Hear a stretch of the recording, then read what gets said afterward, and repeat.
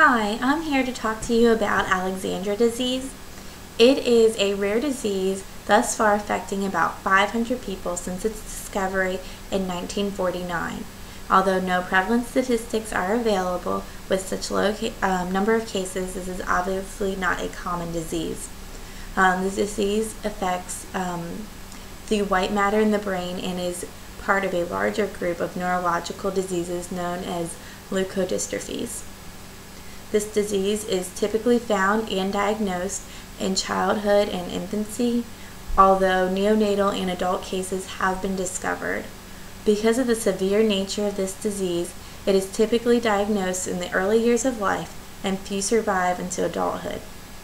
Individuals typically have progressive psychomotor retardation with a loss of developmental milestones, megalencephaly and frontal bossing, seizures, hyperflexia and pyramidal signs, ataxia, and hydrocephalus secondary to aqueductal stenosis. This multitude of symptoms means a, shorter, a shorter life for those who suffer from the disease. However, the later the onset, the longer the life expectancy.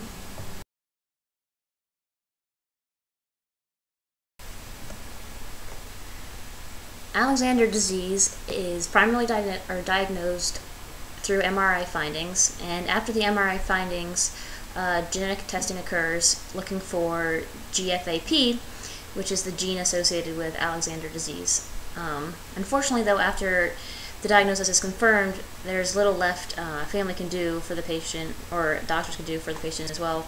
Um, because of the rarity of this disease, there has been or there's not enough research to develop a specific treatment uh, for it, and drugs are prescribed to control like the seizures and such, and antibiotics are used to treat infection, but unfortunately, still not much is done to uh, actually cure it. There's yet to be a cure.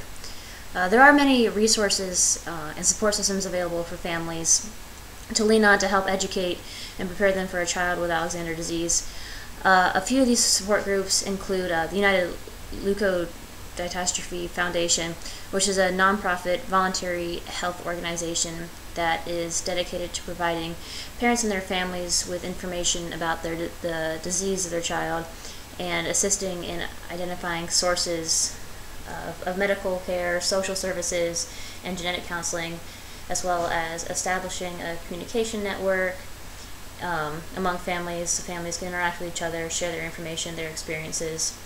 Um, and it also does increase public awareness um, as a, acting as an information source uh, for healthcare providers.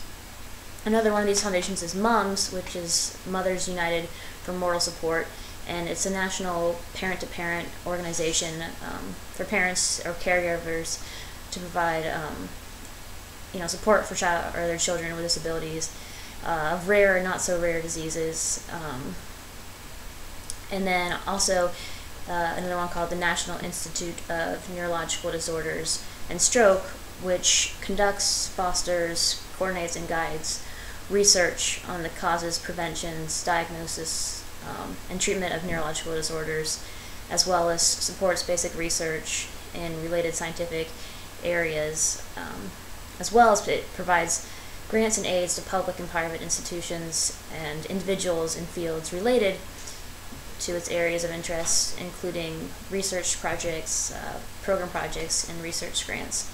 And obviously, there are many more of these uh, or support systems uh, you can find online, just like uh, go to like Alexander disease uh, support systems, and there's several groups that come up, and just lots of support.